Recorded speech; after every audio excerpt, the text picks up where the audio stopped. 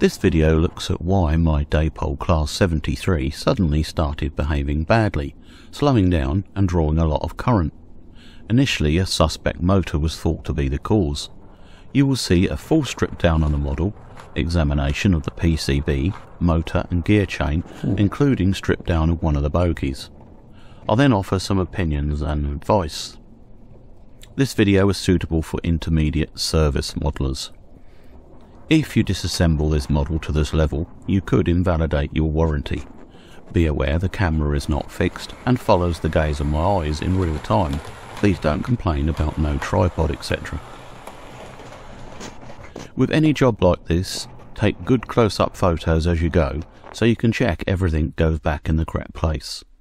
Let's start our investigation. Please forgive me as I'm still struggling with my breathing.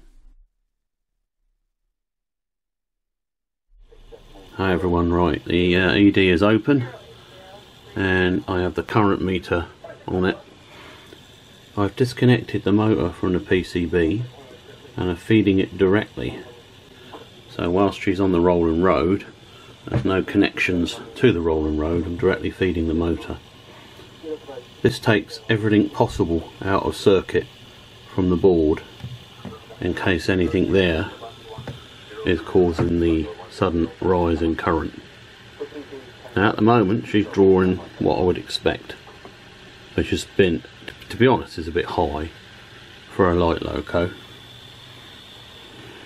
She's on a rolling road so I suppose that could give a bit more stiffness to her. So I'm just going to let it run and see if we get the sudden increase in current. Oh, no. There we are, it's answered it for you. Yes, we will. It was only a quick blip up to 400 milliamps, but that's way too much. So either it's a problem with the motor, oh, sorry, or it's um, a mechanical obstruction in the gear tra train. So my next um, objective is to take the motor out, isolate the motor. See? It's going there again. So we'll isolate the motor completely, take it out of the loco, well maybe not take it out but we'll certainly disconnect the gear chain. Okay everyone, same as before but as you can see I've disconnected the drive chain so the motor is just independent. So let's ramp the power up. first of all quite a lot less when it's not under load. I mean how much load must that drive chain be putting on it? So we need to look at that. It's uh, 80 milliamps.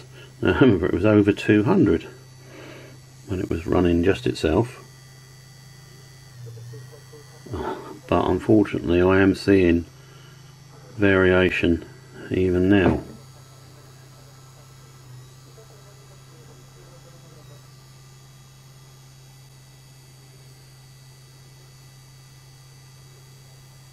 So could there be something stiff in the drive chain that has basically burnt this out or damaged the motor?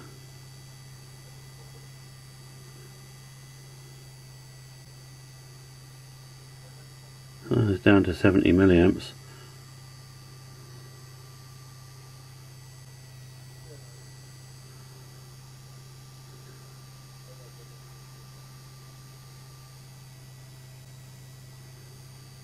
Let's give it a little bit of light loading. I'm just going to brush my finger along one of the flywheels. I mean, look. How heavy? I'm really pushing and we're not to 200 milliamps ah, so there's definitely something wrong with the drive chains I would say I have been putting undue strain on this poor motor and it suffered. So let's find out which one. So I've assembled the right side shaft. Uh, as you see it's gone up to 120 milliamps. But there's there's no problem with turning I put a small screwdriver in and turned it through several revolutions. There's no problem there. There's no problem with the shaft, there's plenty of movement. So that's not bad, so we'll put the other one in and see what we get. Both assembled and we're back to 200 milliamps. Does kind of suggest there's a problem this side, doesn't it? Shouldn't be that much. 100 milliamps just connect the gear tower. So that side I'm fairly confident in. This side needs further investigation. The gear tower and bogie pivot mount simply unclips. Inside we can see the worm and large blobs of thick lube not doing any good at all. You can easily lift the motor by inserting a flat blade screwdriver into the slots on the chassis. Note the pickup wires going to the bogie. I'm going to remove them from the PCB to make things easier, but you can just about perform the next step and keep them in place. The wires go up onto the PCB on the same side as seen and connect to a location next to the other bogie's wires. Lever from the front of the bogie, then the rear, and finally unclip the two side clips. This is what you find inside. Lifting the wheel sets reveal the pickup wipers. Bend these up a little so that they are a firmer press on the bearing pickup. Carefully redistribute the existing grease and add Labelle 102 to the gear mounts and worm bearings. Clear out any large lumps of grease. The wiring all tidied up. Well, I serviced the other bogie as well, but we're still at 220 milliamps. Which seems an awful lot just for a drivetrain and uh, local on a rolling road.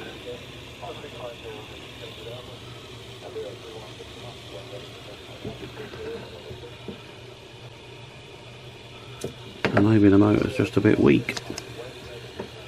And um, draws a lot of current under the slightest of loads because we've checked everything. All the cardan shafts have got plenty of room for manoeuvre. The gear towers are free uh, more so than they were because there's no great blobs of thick grease but they're now free.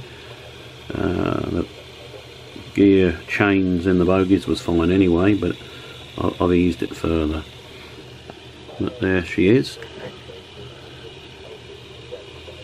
ramp the speed up a little bit.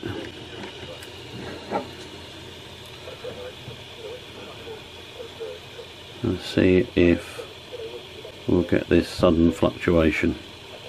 Well, far from um, sudden current increases, it actually dropped to 170 milliamps, so perhaps the new lubricant and the redistributed original lubricant is um, doing some good. We've also seen how we can overcome the problems with the pickups. It's quite a nice little system really that they've got but you just need to bend those pickups up so that they press on the um, bearing, axle bearing inserts. Oh, is it actually going to drop down to 106? Yes, it is. So it's trying to drop down to 160 milliamps now, which is much more reasonable. I'm going to leave her running.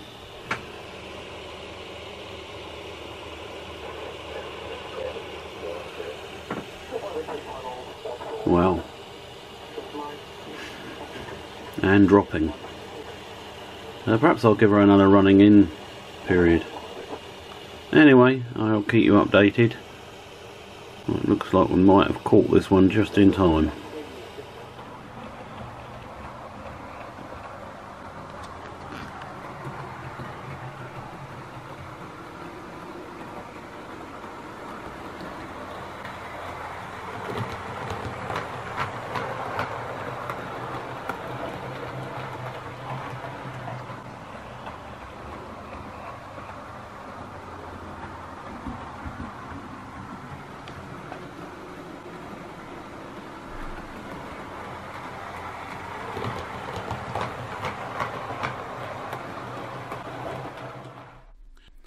Feeling about the motor is that it might be a bit weak, and while off-load draws a normal low current of less than 100 milliamp, On load, it soon ramps up almost three times as much.